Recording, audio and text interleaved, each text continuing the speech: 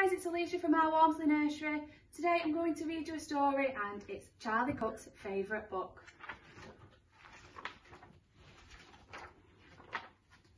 Once upon a time there was a boy called Charlie Cook who curled up in a cosy chair and read his favourite book.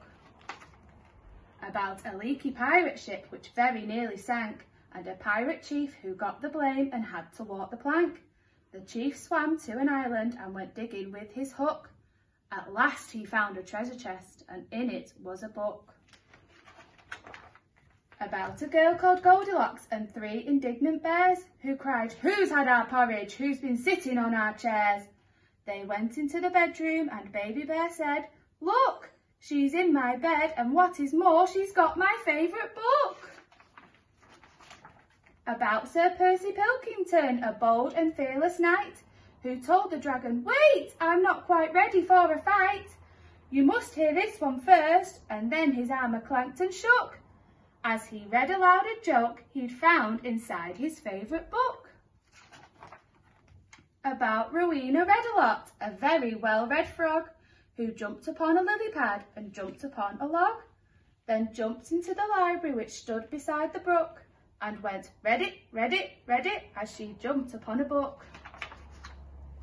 About an oak tree full of birds, each bird had built a nest, and they had a competition to decide which one was best.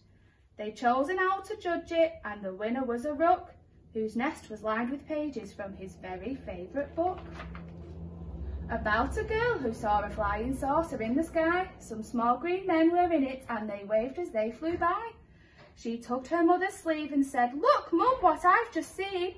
But Mum said, Hush, I'm trying to read my favourite magazine. About a wicked jewel thief who'd stole the king's best crown, but then got stuck behind some sheep which slowed his car right down.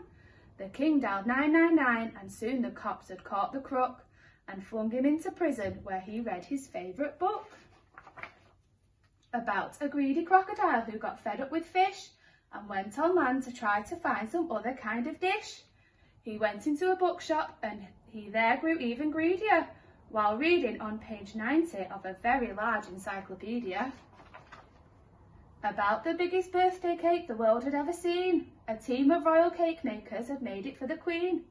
The cake was so delicious that a famous spaceman took a slice of it to Jupiter. He also took a book about a ghost who glided round a castle every night, carrying her head and giving everyone a fright.